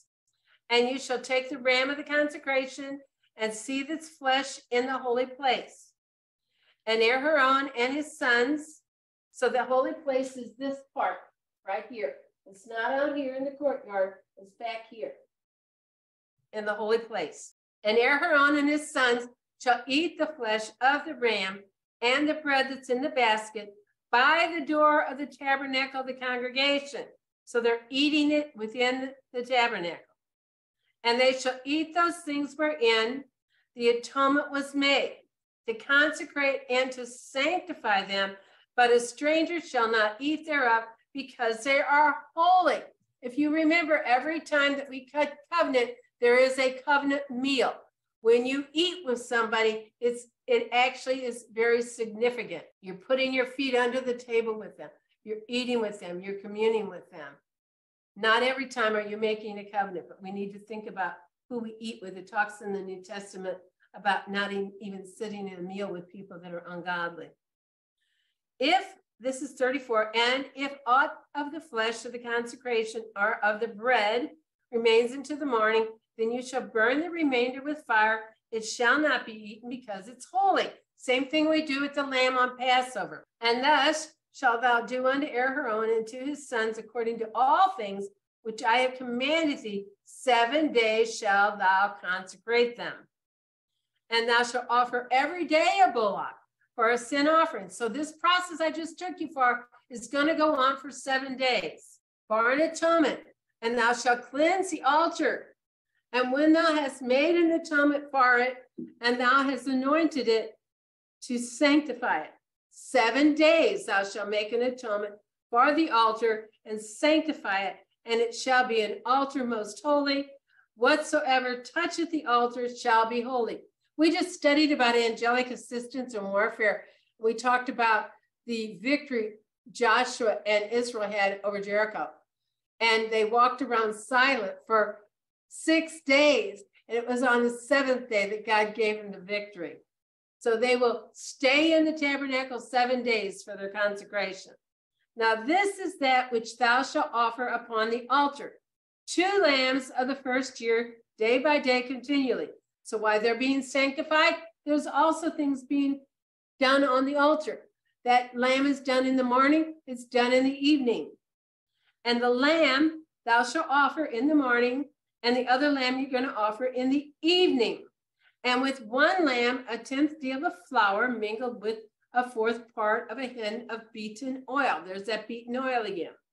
And the fourth part of a hin of wine for a drink offering. We're going to see that these items have significance the oil and the wine. And the other lamb thou shalt offer, and of course the lamb, at even and shall do thereto according to the meat offering of the morning. So whatever you're doing in the morning, do it in the evening, according to the drink offering thereof, for a sweet savor and offering made by fire unto Jehovah. This shall be a continual burnt offering throughout your generations at the door of the tabernacle of the congregation before the Lord, where I will meet you to speak there unto thee and there I will meet with the children of Israel. And the tabernacle shall be sanctified by my glory, his character. And I will sanctify the tabernacle of the congregation and the altar. I will sanctify also both Aaron and his sons to minister to me in the priest office. And I will dwell among the children of Israel. This is the whole process that we're going through. The whole sanctification process of the priest is so Yahweh can dwell among the children of Israel. And I will be their God, and they shall know that I am, I am Jehovah, their God, that brought them forth out of the land of Egypt, that I may dwell among them. I am Jehovah, their God. So in the next chapter, we only have 10 verses. So let's look at some of the notes on this. In chapter 29, even though we are to cleanse up the outside of ourselves, like with the cleansing here at the laver, it's the inside that's actually the point that God wants to make. To be pure within, to be pure thought and pure of deed. The bull, what is a sin offering for a leader or a nation. We are atoning for the leaders in this offering with the bull. The wheat represents us, the wheat harvest. The oil represents the power of the Holy Spirit. And the breast and the thigh of all animals went to Aaron and his family. Aaron's consecration was seven days. Moses was on the mountain six days before God spoke to him on the seventh. So when I thought about that, I thought, well, we try to wait on the Lord for an hour and it feels like forever. Moses goes up the top of the mountain and it's six days before God even speaks. They're eating a covenant meal here. We burn up the meat if it is not eaten in that first day. Man, us, mankind, is being consecrated for six millennial years. It will be complete when Yeshua writes his Torah upon our hearts. He will give us a new heart so that we can live out eternity in his sight. And as I thought about that, I thought, well, you know, it's like our sin gets burnt up. We get to have a glorified body. Amen. Some of them are cheering. They're going, yes, I get a new body. Yes, yes. Okay, the two lambs is for the morning sacrifice and the evening sacrifice. And then David actually added a midday sacrifice. So in the beginning, there was a morning sacrifice and an evening sacrifice, but David felt like he needed to add one in the middle as well. The lambs here represent Yeshua. And the oil is him that's full of the Holy Spirit. The drink offering, the wine, signifies his blood, which ratifies the new covenant to us. It renews the old covenant with man, making us a kingdom of priests once again, because it ultimately went to the Levites because they were not a kingdom of priests. They had sinned and couldn't be consecrated for that. Ultimately, Yeshua is making it possible for us to be a kingdom of priests again it's um, all hinted at in all of these offerings about Yeshua. And there are actually two different lambs. And that's because there's two different comings of Yeshua. We have his first coming of the suffering servant. We have his second coming as a ruling and reigning king. His whole plan and purpose is for him to dwell with us and in us. That's everything that he purposed from creation. All these things are things that we miss throughout all the ages that have always uh, pointed to Yeshua. So let's look at this process of cleaning, uh, cleansing a little bit. John 4:10. Jesus answered and said unto her, If thou knowest the gift of God, and who it is that saith to thee, Give me to drink, thou wouldst have asked him, and he would have given you living water. The living water is what we want. That's Yeshua speaking to the adulterous woman at the well. In John 7 37, this is at the festival, or Hanukkah is what we call it, Feast of Lights. In the last days, that great day of the feast, Yeshua stood up and he cried, saying, If any man thirst, let him come to me and drink. He's fulfilling the prophecy of Isaiah 55 pertaining to him becoming the living water. He stands up and he says, I am the living water. Isaiah 55 talks about him being the living water. The brazen altar represents the altar of sacrifice. It's the first thing that we see when we enter the tabernacle. It's what draws us to the Father which is the sacrifice of Yeshua, what he has done for us, the price that he paid for us. In Exodus 12 5, it says, Your lamb should be without spot or blemish. Yeshua was without sin, without spot or blemish. He is not only the lamb, but he's also the high priest, and he's making sacrifices. He is everything. In John 10 11, he says, I am the good shepherd, and the good shepherd gives his life for the sheep. So he's the shepherd, he's the sheep, and he's the high priest. He's everything. So, what does this tell us? You know, that's really interesting because people really have a hard time understanding how it can be God the Father, God the Son, and God the Holy Spirit. But we don't have a problem understanding that he's the shepherd, that he's the lamb, and that he's the high priest. He's all those things. So, what does this tell us about our sacrifice of praise and prayer? We need to be like him, leading the sheep of the lost tribes of Israel back to Messiah. We have to be willing to lay down our own lives for the kingdom. There are still many who do not know the message of Yeshua or don't know their true identity or the divine calling that God has on their life. They don't know their destiny. It takes effort, it takes dying to ourselves to be willing to do that. So let's look at these last 10 verses.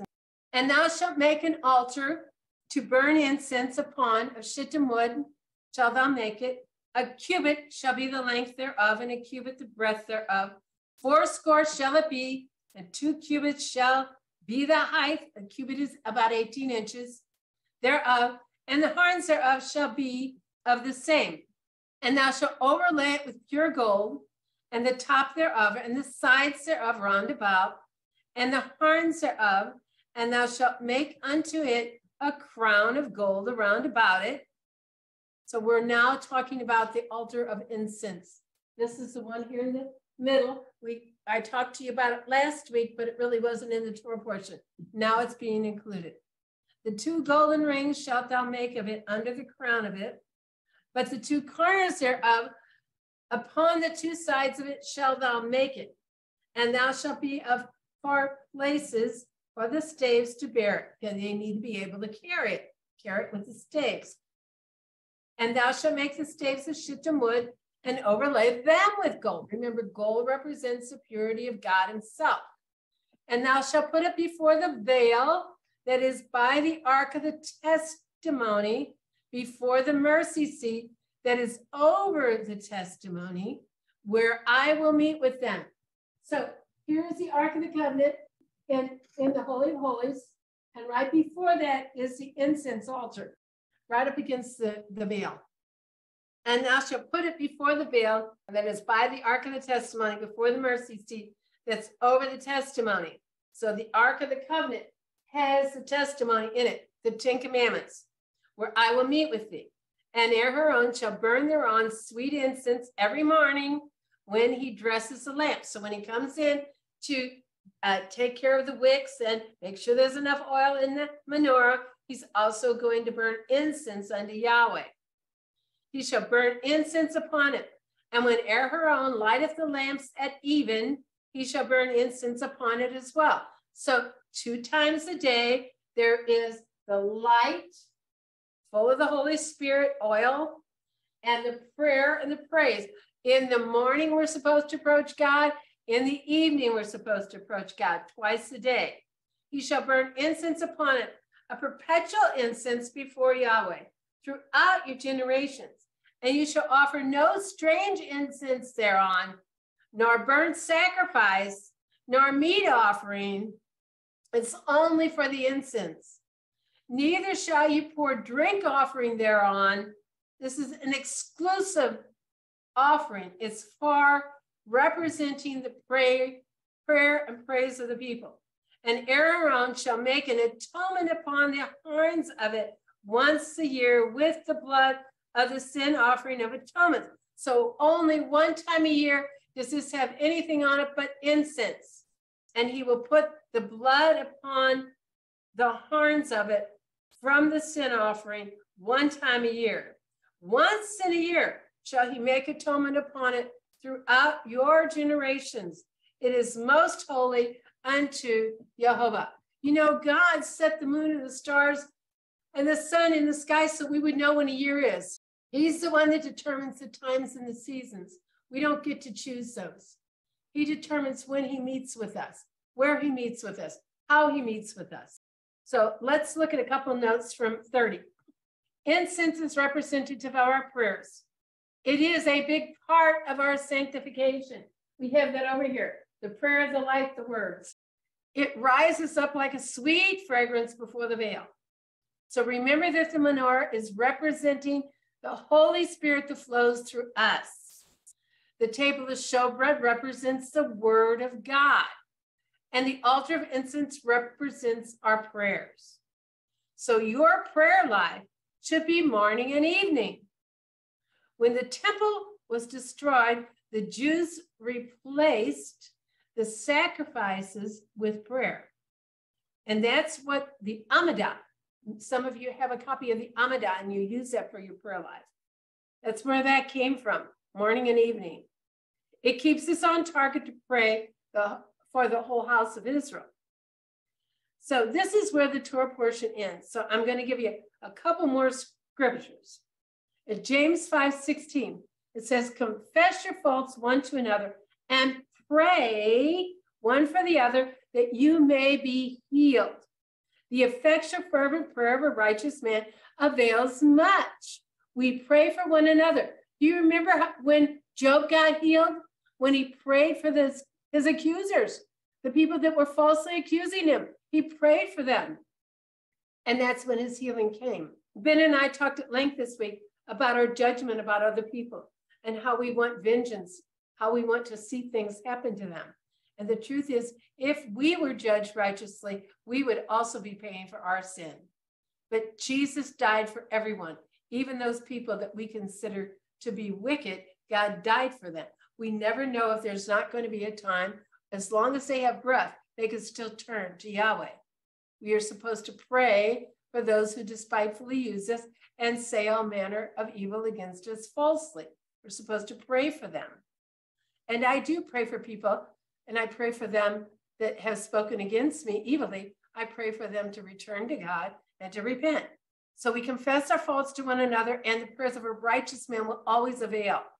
To have power in your prayers, we have to start living out Torah, a Torah of selflessness and righteous love. That will give power to our prayers. The reason that we don't feel like God hears us can be found in Isaiah 59, verse 2.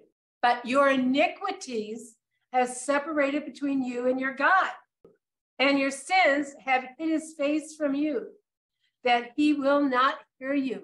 So when we feel like our prayers aren't reaching heaven and he's not hearing us, we need to check ourselves. Where do we have an open door? Where do we have iniquity? What have we not confessed? First John 3 4 says, Whoever commits sin transgress also the law. For sin is the transgression of the law. That's New Testament, folks. John says, if you have sin in your life, you're transgressing the Torah. The Torah was given to us so we would know what sin is. How can we know we're breaking a law, even in our own country? We do things and break the law and don't know it because we don't know all the laws. They keep passing them all the time, and we don't even know what pertains anymore. Sometimes people do things completely innocently and they go to jail for it because they don't know it's a law. How do you know that you're committing sin if you don't know what the Bible says?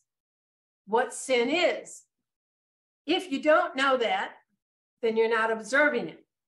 And by not taking care of it, you're actually separating yourself from the very source of life, which means that you're severing yourself from the source of life means that you're entering into death.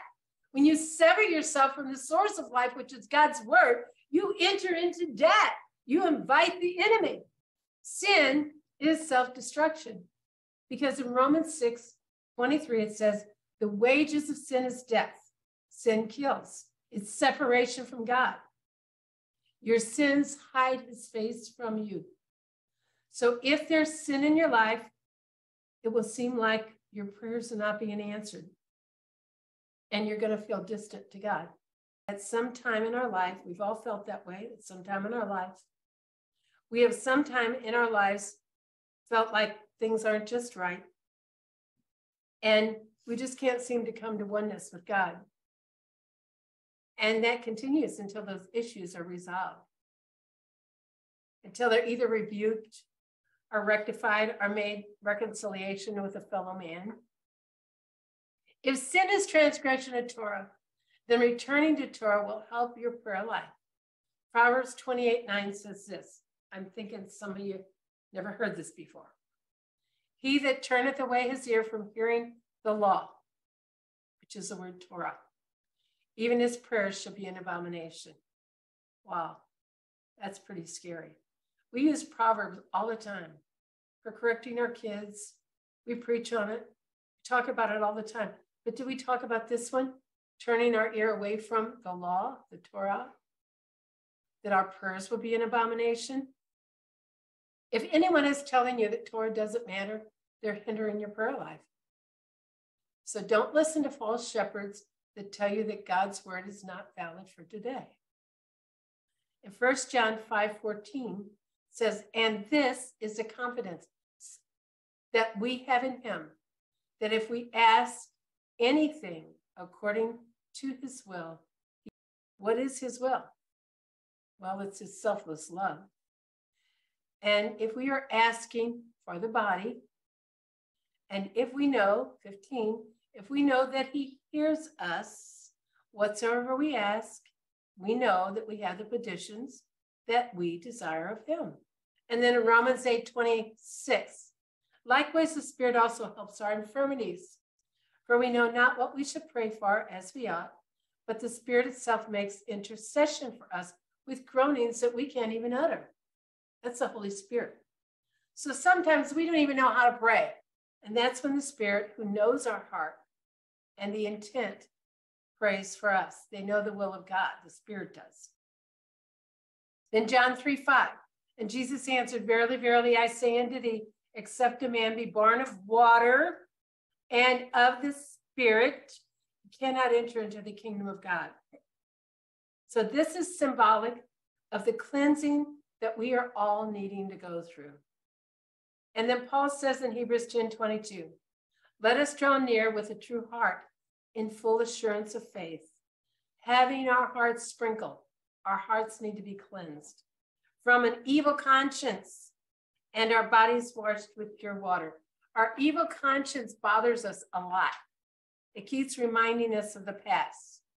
So this is meant what it was meant when Moses was cleansing Aaron as the high priest to cleanse the memory of sin. It's cleansing you of guilt, of the self condemnation that we often go through. So when we go through that self condemnation, where's our focus? Well, it's not on God, but it's on yourself. When you're condemning yourself, beating yourself up, your focus is on you. It is not on God. Guilt is followed by self condemnation, and self condemnation is followed by self loathing. That's not being sanctified. We have to get outside of ourselves and beholding Yeshua, we become like him. And then you look back and you say, when you realize you change, you look in the mirror and you realize you changed, and you go, Whoa, when did that happen? When did I get free of that particular thing? And that's what it's meant to have your conscience cleansed. You, you start to forget your old self. I don't even know who my old self was anymore. Thank God. The old habits and the old struggles, because you're cleansed by the precious blood of Yeshua and by the laying his life down for your sins. And that was his total self-denial on your behalf. Ephesians 5:25 says, even as Christ also loved the church and gave himself for it. Verse 26, that he might sanctify and cleanse. That's his purpose. That's why he laid us down. If we are sanctified and cleansed, then we have entrance into the Father. That he might sanctify and cleanse it with the washing of the water, and it's done by the word of God. He didn't die so you could keep on sinning. He died that you could be sanctified. And to become an overcomer, that you could have an entrance into God, even as He is an overcomer, to cleanse you by the washing of the water of the word. And verse 27 in Ephesians 5 that He might present you, the church, to Himself as a glorious church, having the character of God, not having spot or wrinkle or any such thing, but that should be holy and without blemish. That's what being the bride's all about. She's supposed to be holy and without spot or without blemish. And then John 17, 17 says this Sanctify them through thy word. Your word is truth. We're supposed to be sanctified. This is not about just believing. There's a whole journey to becoming the bride, to becoming an overcomer, to becoming the remnant of God. So, like we talked about last week, when we enter into the courtyard down here, the first thing that we see is the altar of sacrifice. And that's where we begin to surrender to the sacrifice that Yeshua made for us. That that's what woos us. It woos us. It's the wanting to be cleansed to the laver, at the laver by the word of God, by his very presence. We decide we want to commit to die, to be put down in that water and to come back up a new life. The washing of the water of the word and the table of the showbread and the praying without ceasing so that is the altar of incense. We are the light with the Holy Spirit. We are the showbread as we take the word into our life. The menorah is full of the oil of the Holy Spirit, and that is flowing through us. We are a light to the world. Then go through the steps that the tabernacle lays out the whole plan of salvation. So, what's happening is we come in here and we are surrendering, we accept his sacrifice. We go to the laver, we do baptism, we're cleansed. We enter into the holy place, we receive the Holy Spirit, we have a great prayer life morning and evening, and we put in the word, and it allows us then to have entrance into the Father. You are not coming into the Father being unclean. I know that when we are born again, that our spirits become 100% holy and pure and righteous because we are the righteousness of God in Christ Jesus. What he did on the cross made us righteous from within. But when we're righteous from within, it's supposed to show on the outside. And that takes a process of cleansing through the word and prayer and time in his presence. We're supposed to be set apart as holy and separated for his use. So God has revealed that if we want to go back to Him, we have to go through the sanctification process. We want to enter into the Holy of Holies. He is the one who lifts the veil of our ignorance.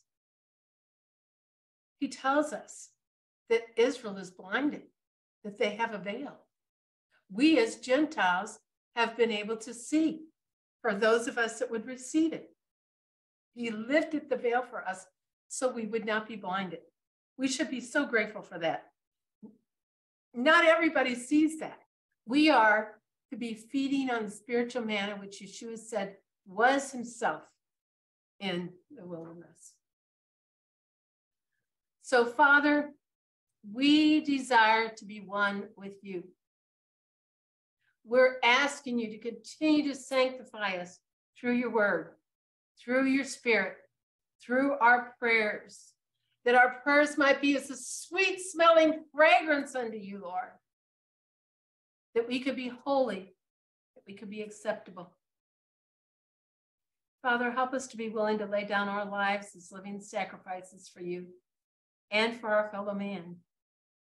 Continue to teach us, Lord, please, every single day of your wonders and your wisdom and may we know you more and more intimately as we continue to pray and prepare to be your bride.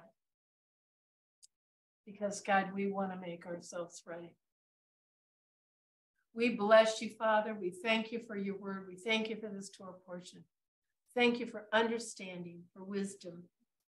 Father, help us to continue to see Yeshua in all of the word, all of every page that we see Yeshua. Bless those that have come, bless those that have, will listen later. Father, we love you and we lift you up and we give you praise in Yeshua's name. Amen. So thank you for joining us. Please give us a thumbs up, a share, and uh, subscribe. We'd appreciate that. It really helps me to get these words for the Lord to get the word out to other people. And we hope that you'll join us again next week. Shabbat Shalom.